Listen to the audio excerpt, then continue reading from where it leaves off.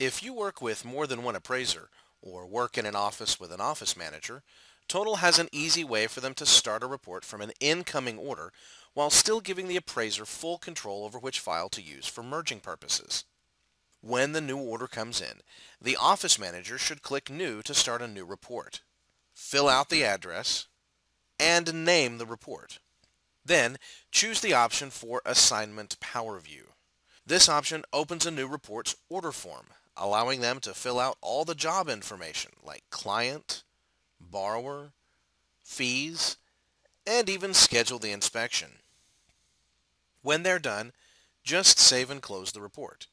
Then, when the appraiser is ready, they can open the report and click Merge from within the Assignment PowerView to choose their template.